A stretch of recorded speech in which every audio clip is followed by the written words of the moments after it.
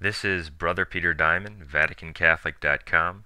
A priest in Alabama named Father Leonard Giardina, who claimed to be a traditional Benedictine monk, recently passed away. At the news of his passing, many who consider themselves traditionalists are praising Giardina. Since he did offer the traditional Latin Mass, and was at least separate from the Vatican II Church, they have been commemorating him as if he was a true traditional Catholic. The truth, however, is that Father Leonard Giardina was not a true Catholic, but unfortunately a complete heretic and an apostate. As documented in our extremely important video called Sedevacantist Priests Who Deny Catholic Salvation Dogma, Giardina believed that souls could be saved in any religion, including Jews who reject Jesus Christ.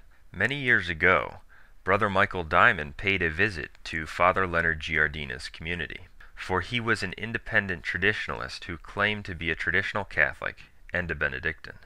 During the visit, Brother Michael was told firsthand that Father Leonard Giardina and his monks did not ever, at least at that time, wear religious habits or collars or identifiable religious slash clerical clothing in public, but rather suits and ties.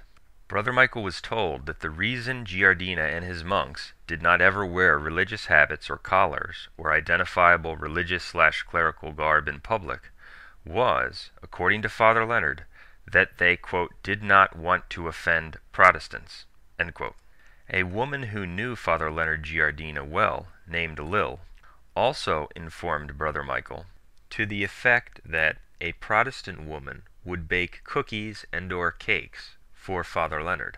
In a discussion about the Protestant woman and the dogma outside the church there is no salvation, Father Leonard Giardina told Lil to the effect that, quote, You can't tell me that the nice Protestant woman who bakes cookies for us is going to hell.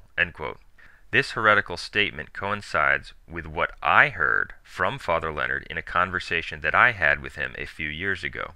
In that conversation, Father Leonard told me that it's possible that Jews who reject Jesus Christ can be saved.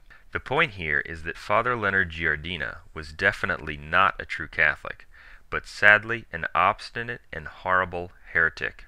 He and many others like him actually serve as false prophets. They deceive traditionalist minded people by externals and by the appearance of having a religious community, the priesthood, a Latin Mass, etc.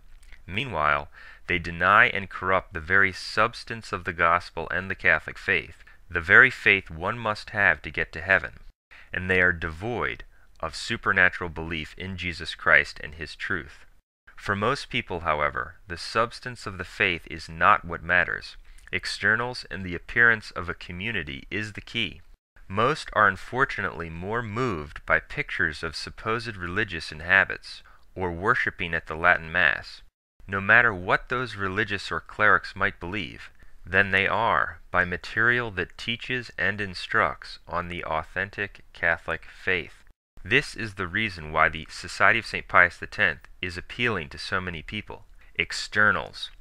In a similar way, it's the reason that the apostate Mother Angelica of EWTN was able to achieve such a strong following.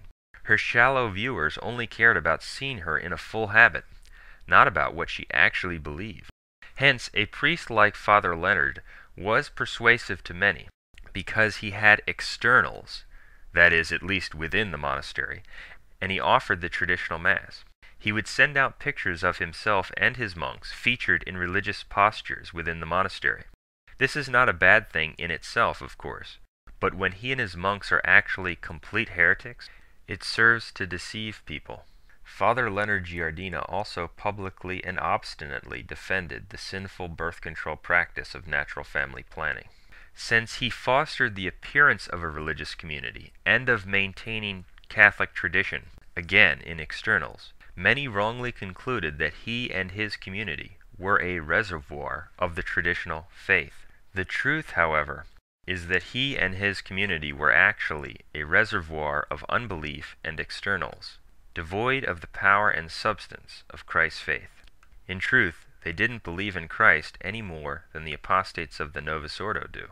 The sad part remains, however, that it doesn't matter to most that Giardina and countless others like him do not and did not believe in the necessity of Jesus Christ.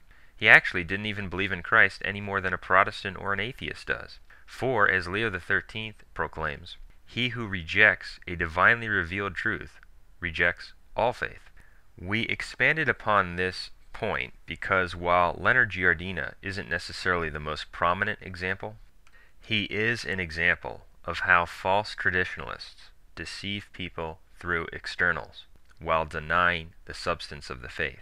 This is one of the major deceptions today in the quote Catholic world and especially in the traditionalist movement. It's also not a surprise that there is talk that Father Leonard Giardina's successors at the monastery might be trying to put themselves under anti Pope Benedict XVI. Since Leonard himself was an apostate, who admittedly didn't care about what people believed, it's not surprising that he would have allowed into his religious community people who didn't even reject the Vatican II Church. Again, please watch the full video linked in the description for this video. It is extremely important.